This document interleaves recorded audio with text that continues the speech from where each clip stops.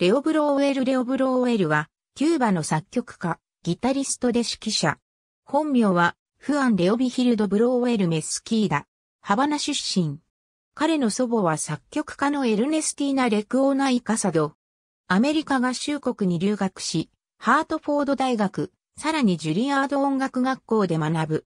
ジュリアード音楽学校では、ステファン・ウォルペに指示。初期の作品は、キューバの民族音楽の影響を示している。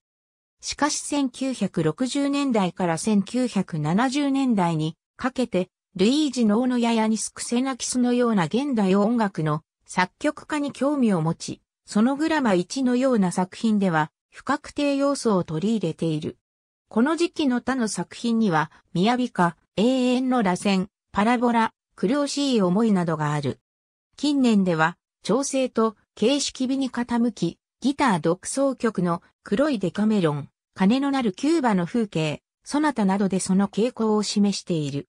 ギタリストとしては1980年代まで活動していたが、右手中指の剣を痛めたのが元で以降は指揮活動を中心に活動している。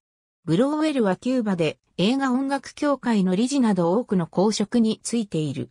彼の作品の大部分はギター独奏曲であるが、ギター競争曲や40本以上の映画音楽も手掛けている。